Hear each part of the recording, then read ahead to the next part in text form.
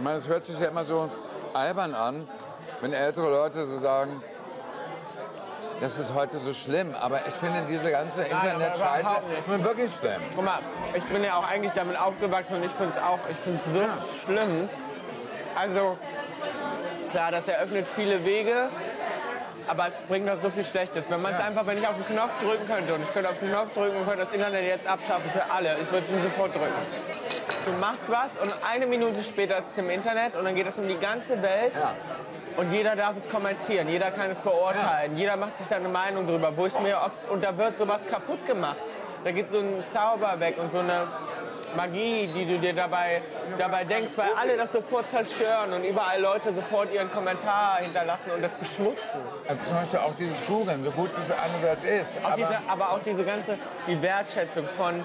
von auch allen Produkten, von Magazinen, von, von äh, was auch immer, Bücher, Mode, Musik, Filme. Das ist alles nicht mehr da, weil du kriegst es alles. Du kriegst es nach einen Klick. Es Wir ist haben auch ein keine Nerven mehr.